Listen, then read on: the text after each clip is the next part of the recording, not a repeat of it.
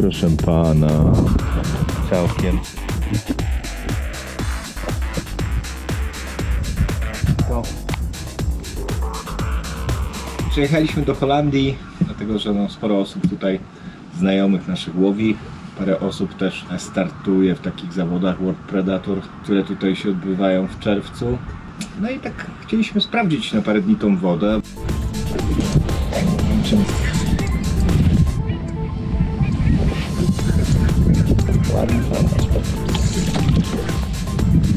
Stoimy na 13 metrach, ale oczy ma w porządku, więc będziemy pójść.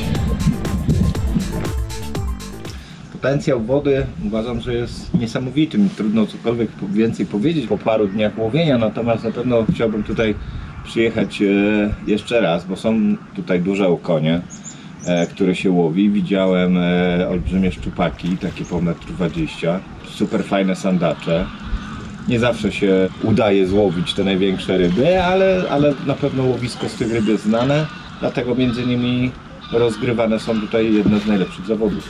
Chodź tu bratku, bo siedzi za skóreczkę. Waleczny był, duży nie jest. Nie wiem ile może mieć.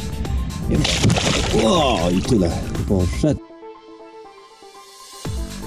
Zbiornik jest tak wielki i tak olbrzymi, że praktycznie tych ryb cały czas trzeba szukać. Przywiązywanie się do jednego miejsca często to jest po prostu porażka, dlatego że jednego dnia w jednym miejscu po południu możesz połowić super naście sandaczy, fajne okonie. Przyjeżdżasz w to samo miejsce, drugiego dnia kompletnie nie ma brań, nie ma ryb, e, także no, trzeba cały czas sukcesywnie uważam szukać tych ryb, namierzać e, je.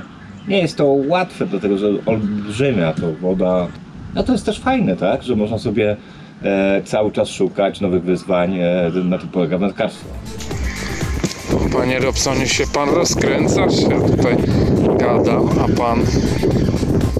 Tyk. Hergur! I do wody z dzieciątkiem. Jesteśmy w y, późną jesienią, wszyscy nam mówili, że tu się łowi na bardzo duże gumy, duże przynęty, że one działają, tylko duże, tylko ciężko.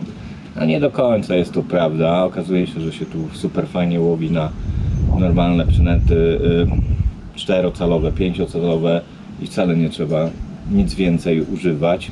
I tak samo niekoniecznie klasycznie, tak jak jesienią, wszyscy łowią głęboko na kantach. Oczywiście tak też czasami podejrzewam, że to przynosi efekty większe lub mniejsze i na pewno coś można połowić, natomiast no, trzeba tej ryby, tak jak powiedziałem, szukać. E, Tu się okazało, troszeczkę dni nam zabrakło właśnie przez warunki pogodowe, że sporo tych ryb e, było na płytszych miejscach, na które już po prostu zabrakło nam czasu i, i, i tak naprawdę nie mogliśmy już sobie ich połowić, ale pewnie następnym razem będziemy już o to doświadczenie bogaci i coś e, i na pewno spróbujemy jeszcze raz.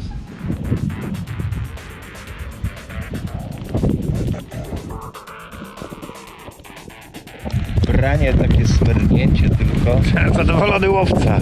A jest kata morda. Oj, poszedł i bardzo. Zadowolony łowca.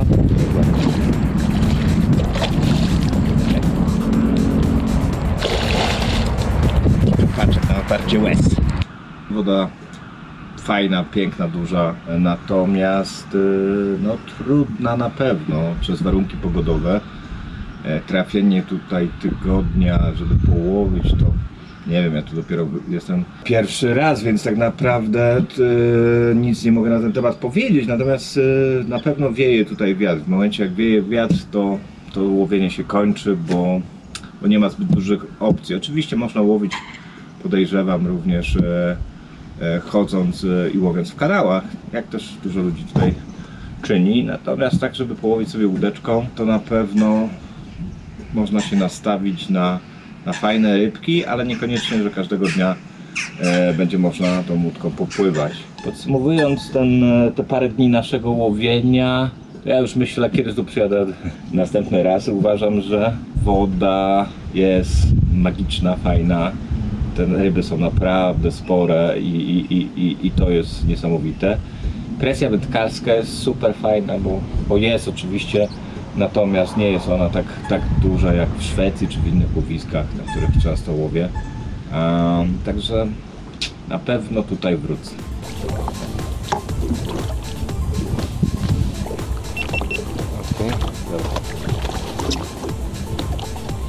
Włóż do wody kamerkę.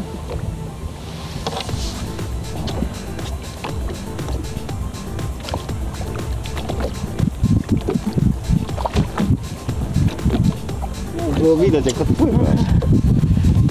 Dzięki. Ładnie siedział.